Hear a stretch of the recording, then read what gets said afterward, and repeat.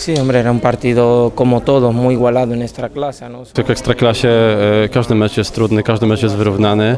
E, Lubin zwłaszcza przyjechał tutaj po to, żeby bić się o wszystko, żeby bić się o to, żeby się utrzymać, e, ale na szczęście potem jak udało się mi strzelić bramkę, a potem strzelił bramkę Czaba, mecz został rozstrzygnięty. Siempre intento jugar lo mejor posible para, para el equipo, ¿no? Y después la gente que me valoren, la afición y eso que me valoren. Yo hago mi trabajo, intento hacer lo mejor posible.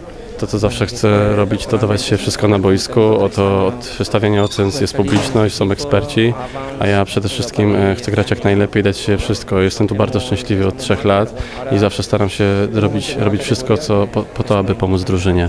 Y Para nosotros. Y claro, claro, que partidos más, vamos a salir a... Oczywiście są jeszcze dwa mecze i dwa mecze do wygrania. Postaramy się dać z siebie wszystko.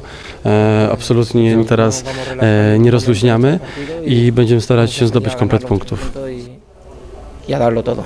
Tanto como Carle como Gerard son grandes Tak jak wielu zawodników z Hiszpanii, e, zarówno Carles, jak i Gerard to są zawodnicy o bardzo dobrych umiejętnościach.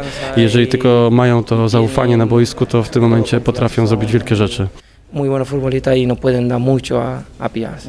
To bardzo, bardzo miłe. Jestem bardzo zadowolony z tego, że e, mogę dla tych, dla tych kibiców by dawać im coś z siebie dobrego, że mogę robić te rzeczy, które dają im tą radość. Tak? Już są zadowoleni z mojej pracy. Mam nadzieję, że, że tak się stanie, że będę tą ikoną i będę mógł tutaj wiele, wiele lat jeszcze spędzić.